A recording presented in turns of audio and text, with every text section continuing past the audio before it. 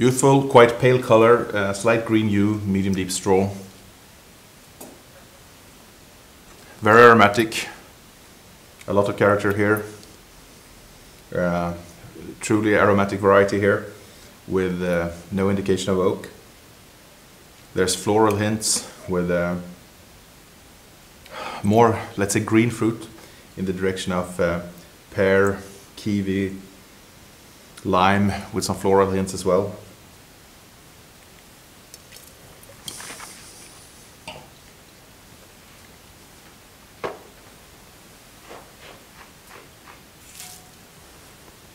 Mm, good bite on the palate.